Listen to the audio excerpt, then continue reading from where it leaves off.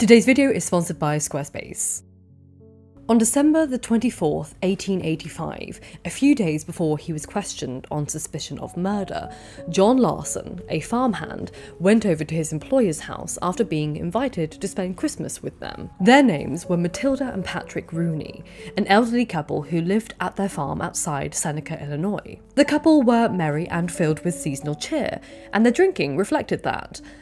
The pair were known to be heavy drinkers, and Christmas was no exception. Being a farmhand, John was used to early nights, so he excused himself around 8pm and headed to bed to the spare room in the couple's home. The couple's son, who was also named John, left his parents' home around some time after that, and all was peaceful until the morning. John had a somewhat peaceful sleep aside from a small breathing problem that struck him in the early hours. John woke briefly, finding himself unable to breathe, but he wasn't fully awake for the incident, so once his breathing returned to normal, he fell back asleep until the morning. The first thing that struck John upon waking was the smell. The air smelled foul. What's more, the bedding was covered in soot, and there was a strange haze filling the room. Naturally concerned, John rushed from his bed and began searching for Matilda and Patrick. As he made his way downstairs, he spotted through an open door a body lying across the couple's bedroom floor. The body, he quickly deduced, was that of a now deceased Patrick Rooney, and too horrified to go any further out of fear he would suffocate or die by whatever substance may be in the air, John ran from the house to find their son.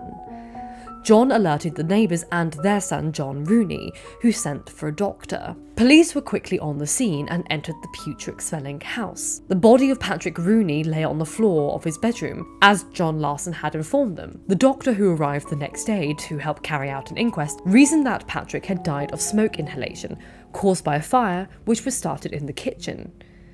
The kitchen sat just beside the Rooney's bedroom, and upon entering, the police were hit with even more of an intense smell.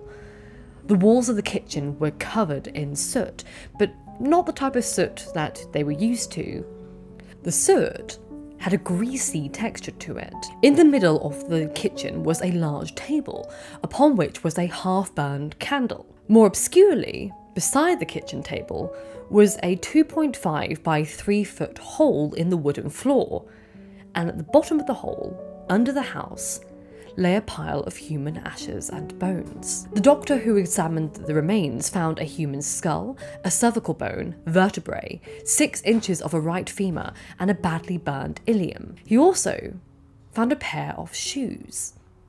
The shoes belonged to Matilda Rooney, and inside the shoes were her burned but still largely intact feet. The woman who just two days ago weighed 160 pounds was now just 12 pounds of ash and bones.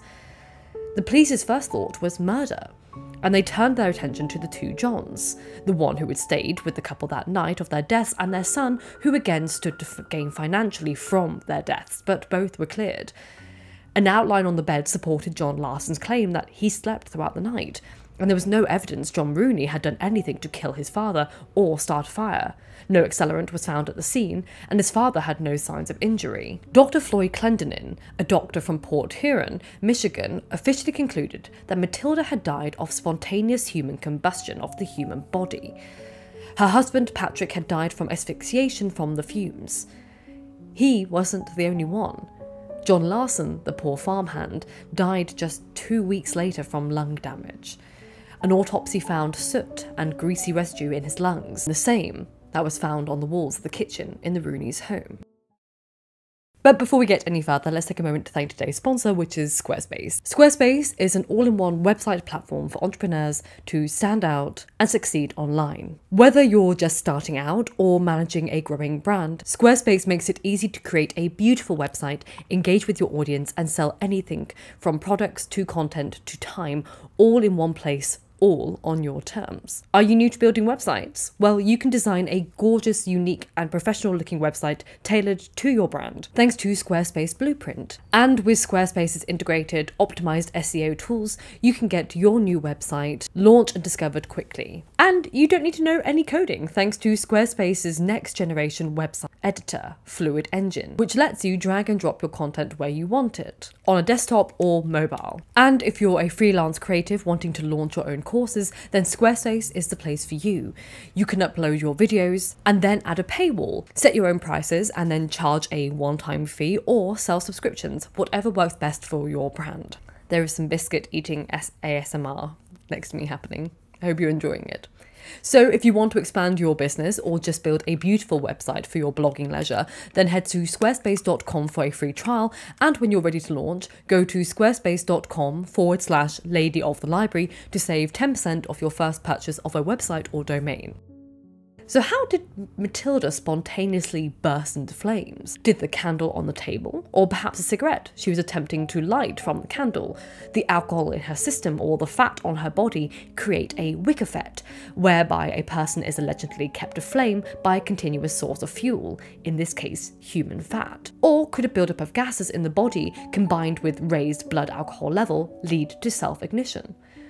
The theories at the time were wild. Just over 20 years before the death of Matilda Rooney, one of the most prominent experts in forensic medicine, J.L. Casper, wrote in his 1861 Handbook of the Practice of Forensic Medicine that spontaneous human combustion was a myth. Much more recently, in 2005, Forensic Pathology Principles and Practice, published by Academic Press, stated that, quote, spontaneous human combustion does not exist. So, why, in the span of 300 years, have over 200 cases of alleged spontaneous human combustion been documented? What is really happening? What is really happening scientifically, and how did these cases capture the imagination of society and make it become a uh, and make it become an urban legend. In 1663, microscopist Thomas Bartholin wrote about a tragic case of a woman in Paris who died in her sleep by a fire. The bed, he noted, was strangely untouched by any fire damage. Paul Rolli published a similar story in Philosophical Transactions of the Royal Society in 1745. He wrote that a 62 year old Countess Cornelia Bandi had said one evening that she felt dull and heavy after dining. And so she went to bed. The next morning, her maid entered the Countess's bedroom, only to find a pile of ashes with two legs protruding from the smouldering remains. The first book on the subject was written in French by the author Ionis Dupont and was published in Leiden, the Netherlands in 1763. A pamphlet in 1806 titled An Essay on the Combustion of Humans by Pierre Lair believed that alcohol abuse was the cause behind the phenomenon. In 1882, a Victorian magazine titled Notes and Queries published the findings of Dr. Lindsley, who had examined 19 cases of alleged spontaneous human combustion between 1692 and 1892 and he found that the individuals who died of such a cause were known to be, quote, habitually drunken or frequently indulged in alcohol. The tone of the piece was one of moral judgment and shame on the victims. Jeannie Saffin died in Chorley, London in 1982 at the age of 61. She had severe mental disabilities and had been cared for her whole life by her father, Jack Saffin, then aged 82. Whilst in the kitchen, Jack noticed a bright flash in the corner of his eye and turning to Jeannie to ask if she'd also seen it. Jack was horrified to find his daughter was on fire while sitting perfectly still in her chair, her hands on her lap. Don Carroll, Jack's son in law, entered the house just when the incident occurred, and the two men rushed to put the flames out on Jeannie.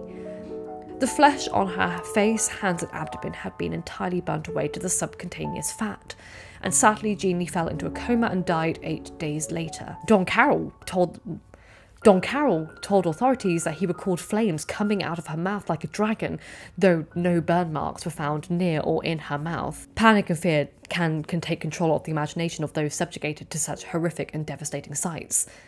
But how did Jeannie become a light? Here is what the police concluded. At the time, the only source of ignition was the pilot light in the gas stove, and Jeannie was wearing nylon, a flammable material. Earlier that day, Jack Saffin had emptied the ashes of his pipe and refilled with fresh tobacco, and investigators theorised that ember from the discarded pipe fell onto Jeannie's clothing. When Don entered the house, the gust of wind from the door fueled the ember. Her official cause of death was recorded by the coroner, Dr. John Burton, as bronchopneumonia due to burns. When the family asked about the possibility of spontaneous human combustion, he replied such a verdict could not be drawn because there's no such thing. On December the 22nd, 2010, 76 year old Michael Faherty died in his home in Galway, Ireland. His charred corpse was found lying on his back, his head near the fireplace. There was little damage to the room, only the charred ceiling above his burned body on the floor. Dr. Mike Green, a professor in pathology, examined one case of spontaneous human combustion, as well as a history of reports. Quote, This is the picture which described time and time again, he said. Even the most experienced rescue workers or forensic scientists take a sharp breath when they come across the case. Sadly, there was no real evidence for a fire related accident that was predictable. His body was found by a fireplace, but Assistant Chief Officer Jerry O'Malley said that the fire officers had concluded that an open fire had not been the cause of the blaze. Fire officers were unable to actually determine a cause of the origin of the fire. The state pathologist, Professor Grace Callagy, noted in her post mortem findings that the victim had type 2 diabetes and hypertension, but concluded he had not died from any heart failure. His body, however, had been extensively burned, and because of the extensive damage to his organs, it was not possible to determine a cause of death. The West Galway coroner, Dr. Kieran McLoughlin, said that it was the first time in 25 years of investigating deaths that he'd seen such a case. Baffled, he had to officially record it as that which had yet to be scientifically legitimized. He recorded the cause of death as spontaneous human combustion. There are so many similar cases throughout history. In 1986, the charred body of a 58 year old retired firefighter, George Mott, was found in his apartment outside Crown Point, New York.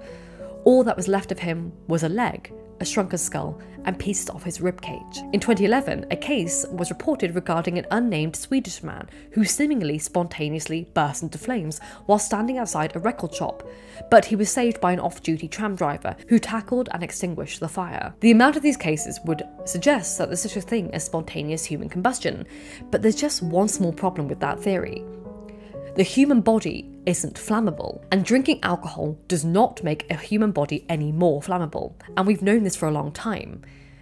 In 1851, J. von Liebig, the father of the fertilizer industry and the man who popularized the Liebig condenser, demonstrated through a series of unethical tests that anatomical tissue soaked in alcohol was not harmed by fire. The logic didn't and still does not sell papers. Spontaneous human combustion makes for a very good story, so much so that authors began including it in their books.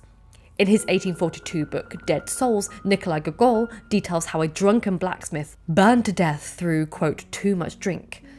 Herman Melville included a drunken sailor in his 1849 novel Redburn, who caught on fire with greenish flames spitting from his mouth as he died. In 1883, Mark Twain wrote of a man called Jimmy Finn, who died of spontaneous human combustion, and Charles Dickens wrote a character, Mr. Krook of Bleak House, who was a heavy drinker and he is eventually found as a charred pile of ash in a small area of a burned floor. Dickens was criticised at the time for including such unscientific death in his work by a scientist George Henry Lewes, but Dickens rebuted the criticism, claiming that he based the fictional event on 30 cases of spontaneous human combustion which he had studied. In his paper on the subject, Brian J. Ford looks at the history of alleged spontaneous human combustion and writes the following.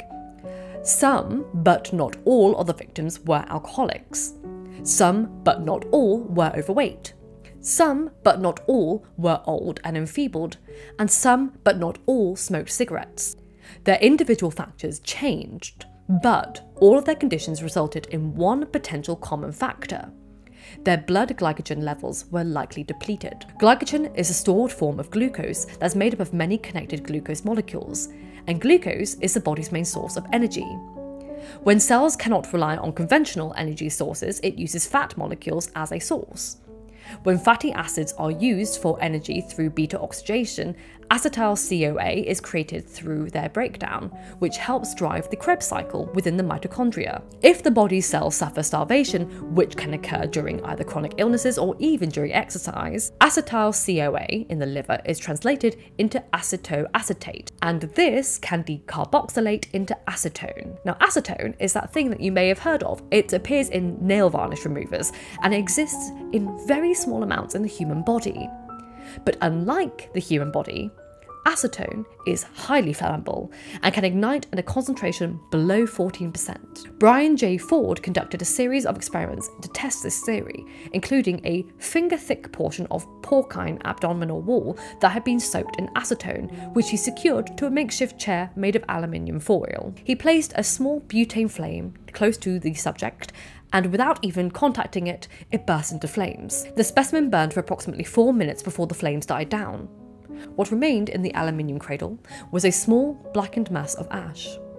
The little chair was left standing in a liquid pool of melted body fat, which solidified into a solid yellow mass that glued the model chair to the base of the experimental stage.